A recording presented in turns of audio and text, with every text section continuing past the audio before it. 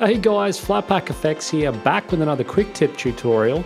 And in this tutorial, I'm going to show you how to match two images together using the blending mode. So I have this landscape shot, which is my background image, and I have this picture of a moon. And basically what I need to do is position this moon up in my sky here. I'm then going to draw a very quick mask around the part that I want to keep.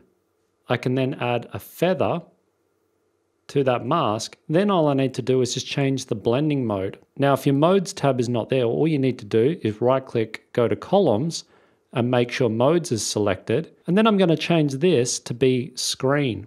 And you can see straight away it removes the background and better matches it into our image. Now you can mess around by changing this to get different looks, but that will ultimately depend on the two images that you're using. So there you go guys, there's a really quick and easy way to match two images inside of After Effects using blending modes. I hope you've learned something and thanks very much for watching.